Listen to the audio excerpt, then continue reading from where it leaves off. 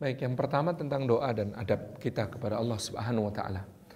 Ada satu ibadah yang kemudian Allah Subhanahu wa taala puji orang yang melakukannya di berbagai keadaan. Yaitu dalam pujiannya alladzina yadhkurunallaha qiyaman wa qu'udan wa 'ala junubihim.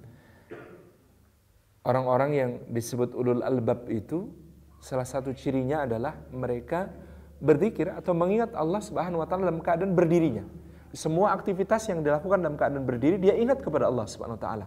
Mana ingat kepada Allah itu bisa dalam berbagai macam bentuk termasuk hati yang selalu berharap kepada Allah. Dan hati yang selalu berharap kepada Allah itu adalah doa. Gitu ya. Ini doa dalam makna umumnya. Doa dalam makna umumnya dia bisa dilakukan dalam berbagai keadaan. Berdiri, duduknya. Demikian pula dalam keadaan duduk, berbaringnya. Demikian pula dalam keadaan berbaring. Jadi semua aktivitas berdirinya, aktivitas duduknya, aktivitas berbaringnya, dia dalam keadaan mengingat Allah Subhanahu wa taala. Ini justru sesuatu yang sangat terpuji. Adapun doa secara khusus memang memiliki adab-adabnya. Kalau doa itu adalah doa yang kemudian kita memaksudkan memang di dalam hati kita kepada Allah Subhanahu wa taala satu kebaikan-kebaikan tertentu, permohonan-permohonan tertentu. Bagaimana adabnya Nabi SAW mencontohkan berdoa, beliau duduk, beliau menghadap ke kiblat, beliau mengangkat tangannya sampai ke pertengahan wajahnya. Seperti apa pertengahan wajah begini? Angkat kedua tangan sampai ke pertengahan wajahnya. Kemudian beliau uh, memulainya dengan memuji Allah Subhanahu wa taala. Jadi Anda itu sebenarnya tidak usah banyak minta Wong berdoa itu bukan memberitahu Allah apa hajat kita. Wong dia itu maha tahu. Allah itu maha tahu kan. Makanya kenapa afdalud doa itu alhamdulillahirabbil alamin. Dalam tadi disebutkan doa yang paling utama itu adalah alhamdulillahirabbil alamin. Kenapa? Kalau kita memuji Allah, zat yang ridho, kalau dia dipuji, ngasih apa saja. Apalagi ditahu apa kebutuhan kita. Apalagi dia tahu apa semua hajat kita, apa keperluan kita. Dikasih. Kenapa? Karena kita kemudian memuji dia. Dan dia ridha kalau dipuji. Alhamdulillahirabbil alamin. Kemudian kita juga mengucapkan salawat untuk Nabi Muhammad SAW. Kenapa? Akan lebih mudah bagi kita untuk diijabah doa itu kalau kita suka menyebut-nyebut kebaikan kekasihnya orang yang kita minta. Muhammad SAW itu adalah kekasih Allah Subhanahu Taala. Maka menunjukkan bahwa kita juga mencintai apa yang Allah Subhanahu wa taala cintai dengan membaca salawat itu bagian dari dijabahnya doa, bagian dari dilancarkannya doa. Kemudian kita mulai dengan uh, memohon ampunan kepada Allah. Kenapa memohon ampunan dulu? Karena kadang-kadang dosa-dosalah yang menjadi penyumbat turunnya karunia bagi kita. Dosa-dosa itu yang menjadi penghalang untuk turunnya uh, satu apa namanya karunia Allah kepada kita.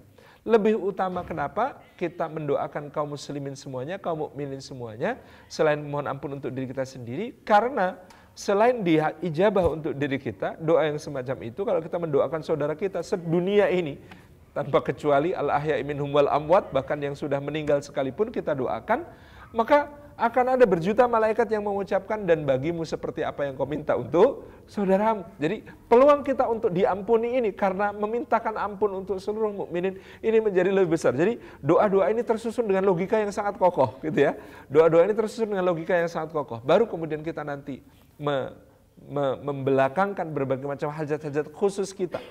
Nah, meskipun sekali lagi eh, intinya doa itu tadarruan wa khufyah Bagaimana kita tadarruk, merasa merunduk-runduk di hadapan Allah, mengakui kehinaan, khufyah berlirih-lirih, mengakui keagungan Allah Subhanahu wa taala. Jadi ketika kita merasa fakir, Allah Maha Kaya. Ketika kita merasa e, lemah, Allah Maha Kuat. Ketika kita merasa hina, Allah Maha Mulia. Perasaan semacam ini adalah perasaan yang paling harus ada di dalam doa.